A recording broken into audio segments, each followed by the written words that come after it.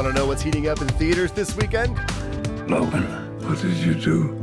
Charles, the world is not the same as it was. Hugh Jackman stars in his last X Men movie, Logan, as the metal clawed superhero is tasked with protecting a young mutant. You still have time. Where's Missy?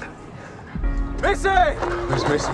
After his child is killed, a grieving man gets invited to meet God at a mysterious forest cabin in the shack. I believe you. Maybe for you there's a tomorrow. A girl realizes how much she has to lose and gain as she relives the day of her death in Before I Fall. Just need to hold on for one more minute. Let's check out this week's Fanticipation.